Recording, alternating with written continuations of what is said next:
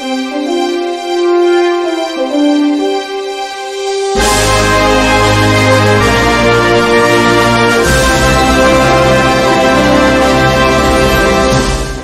και φίλοι του Free Press Channel, θα μόνε εκπομπής αλλά και νέοι τηλεθεατές, καλωσορίσατε σε μία ακόμα εκπομπή Scripta Manent.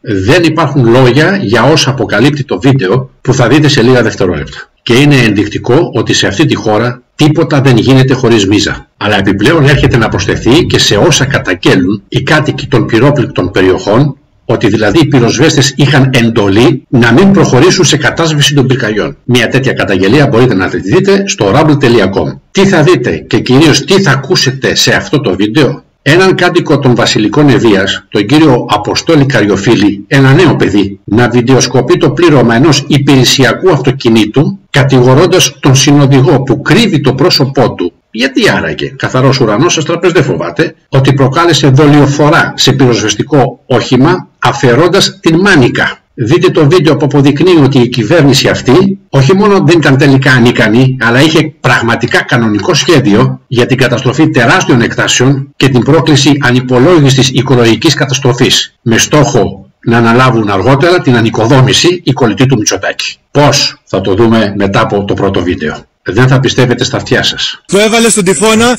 που έβγαλε στη μάνικα, που έβγαλε στη μάνικα, που έβγαλε στη μάνικα πως αθλητικό πυροσβεστικό όχημα. Εσύ!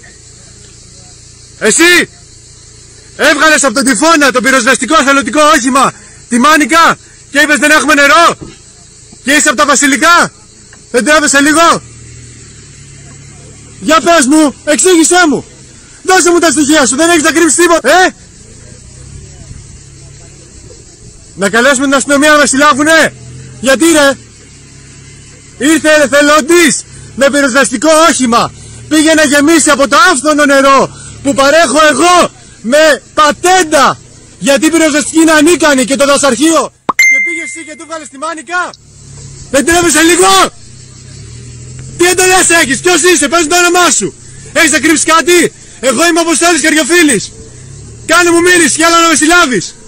Φρίξατε και πού να ακούσετε σε λίγο πώς κινείται ο Μητσοτάκης που όλοι σας τον κοροϊδεύετε ενώ είναι ό,τι πιο επικίνδυνο για τη χώρα έχει φυτευτεί ποτέ στο Μαξίμου. Τον φρονίμουν τα παιδιά πριν πεινάσουν μαγειρεύουν για τον Μητσοτάκη. Προς το παρόν πάμε να δούμε τι είναι αυτός ο τυφώνας που είπε ο κύριος Καριοφίλης ο τυφώνας λοιπόν είναι ένα καινοτόμο σύστημα πυρόσβεσης από τα ακροφύσια του οποίου εξέρχεται η ταχύτητα του αέρα με περίπου 500 χιλιόμετρα την ώρα. Μια μεγάλη καινοτομία που διαθέτει επίσης ο τυφώνας είναι ότι η ποσότητα του νερού που εκτοξεύει είναι ρυθμιζόμενη, μπορεί δηλαδή να είναι 100 ή 200 λίτρα ανά δευτερόλεπτο χωρίς αυτό να επηρεάζει την εμβέλεια της βολής. Κάτι που είναι αδύνατο να πετύχουν τα σημερινά μέσα πυρόσβεσης της Ελλάδας. Και αν όλα αυτά τα τεχνικά στοιχεία σας ακούγονται κινέζικα, πάμε να τα οπτικοποιήσουμε. Το βίντεο που ακολουθεί είναι από τον Μάιο του 2017, οπότε ο τυφώνας συμμετείχε σε πυρόσβεσης στι Μαριές Ζακίνθου. Πάμε να δούμε το βίντεο και επανερχόμαστε.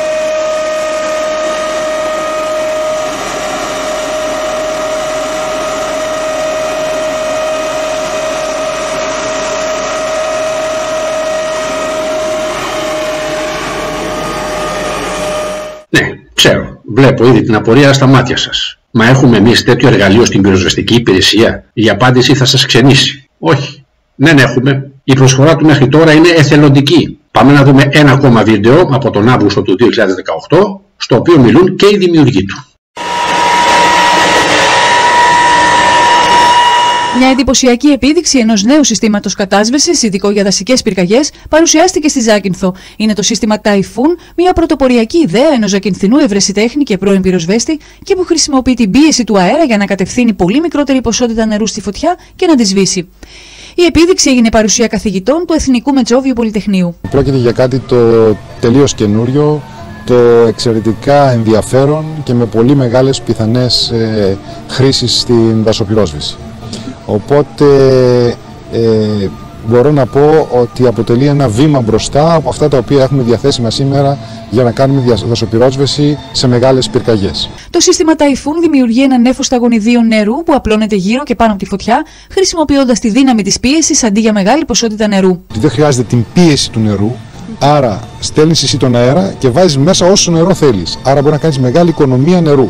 Η ευρεσιτεχνία παρουσιάστηκε μέσα από τρία πιθανά σενάρια. Δασική φωτιά, πυρκαγιά πίσω από εμπόδιο τείχων, όπως για παράδειγμα σε ένα κτίριο, ένα πλοίο ή ένα αεροσκάφος, και τέλος πυρκαγιά σε έφλεκτη ύλη.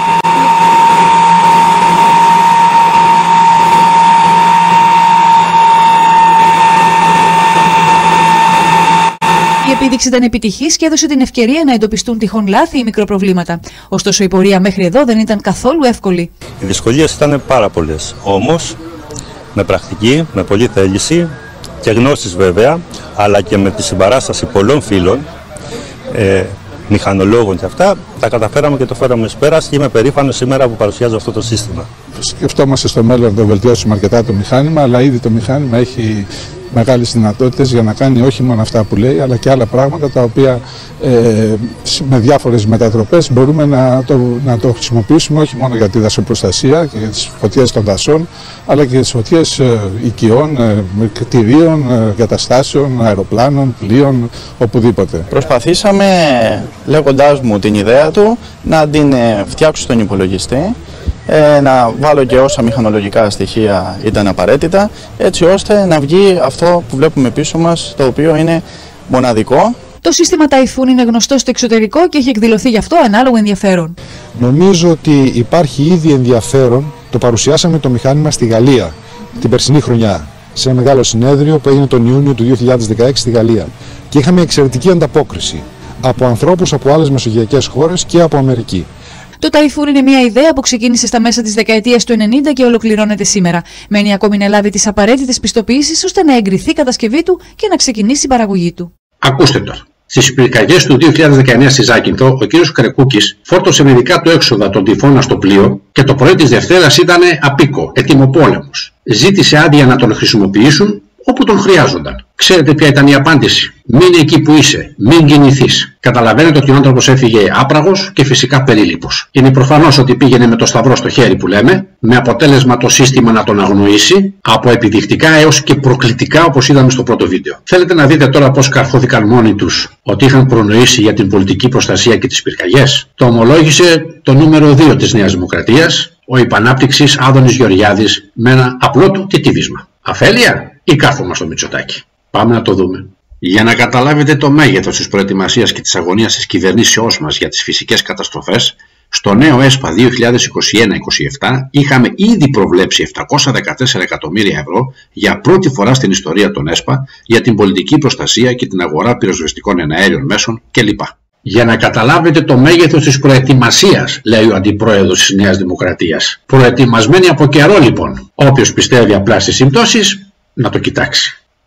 Έλαβα από έναν θαμώνα της εκπομπής που με τροφοδοτεί ομολογώ με εντυπωσιακή θεματογραφία ένα mail με προτάσεις για τις πυρόπληκτες περιοχές. Είναι προτάσεις που τις βρίσκω αρκετά ενδιαφέρουσες, άμεσα υλοποιήσιμες και κυρίως αναζωογονητικές για τις περιοχές αυτές. Πάμε να τις δούμε. Άμεση πρόταση λύση πυρόπληκτων περιοχών και κατοίκων. Δίνεις άμεσα δουλειά στις πυρόπληκτες περιοχές. Πώς το κάνεις αυτό; 1. Κάνεις άμεσα, δηλαδή τώρα χωρίς καθυστέρηση, αντιπλημμυρικά έργα. 2. Με την κίνηση αυτή δίνεις δουλειά στον τοπικό πληθυσμό. 3. Με την κίνηση αυτή η νεολαία και ο τοπικός πληθυσμός δεν θα αναγκαστούν να εγκαταλείψουν τα πατρογονικά τους. 4. Με την κίνηση αυτή σώζεις το δάσος άμεσα. 5. Με την κίνηση αυτή σώζεις τους τοπικούς πυρόπληκτους οικισμούς από πλημμύρες. 6. Με την κίνηση αυτή δεν θα χαθεί το χώμα του δάσους, δηλαδή κρανιοποίηση τοπίου. 7. Με την κίνηση αυτή δεν θα χαθούν οι γνήσιοι, οι πανάρχαιοι και οι βιολογικοί σπόροι των δέντρων με την πλημμύρα του χειμώνα. 8. Με την κίνηση αυτή το δάσος θα ξαναζωντανέψει από τον πρώτο χρόνο. Με την κίνηση αυτή αποτρέπει την μεγάλη μπίζνα των πολυεθνικών.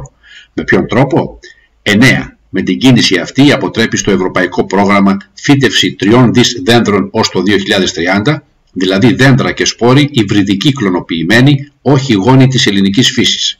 10. Με την κίνηση αυτή, εφόσον μείνει ο τοπικός κόσμος εκεί, αποτρέπεται η εγκατάσταση ανεμογεννητριών.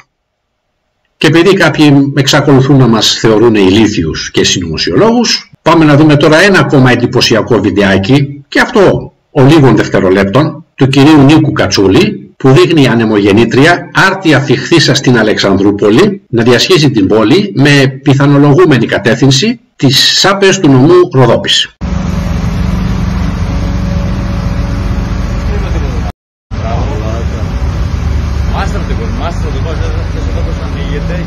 Τώρα, εάν θέλετε να γίνεστε καθημερινά σοφότεροι, παρακαλώ πολύ, δείτε το επόμενο βιντεάκι.